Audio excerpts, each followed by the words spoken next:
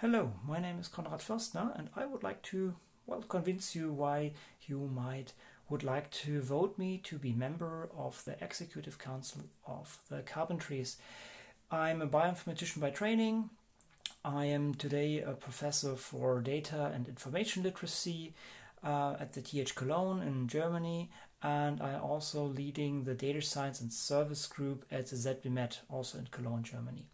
My involvement in the carpentry started in 2015. I start, got there my, my instructor badge and started uh, teaching lessons or uh, workshops basically. I am a trainer since 2019.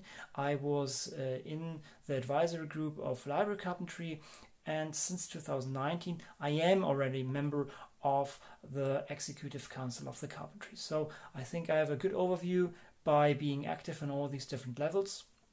The Carpentries have actually a strategic planning from 2020 to 25 and this is the overall framework that we as the executive council try to uh, well use as foundation for decision making and um, the, the, the core part of this or the first or the major one of the major points in there is clearly the growth of the community and that is a very interesting aspect because we we have this great global community with very different needs in different locations. And this is something we need to address and need to yeah solve at, at some parts. And hopefully we as the executive council can facilitate this. Um, i personally like to work very much inside of the uh, executive council i personally learn a lot and I'm very happy to spend more time and effort into bring the community further on that level.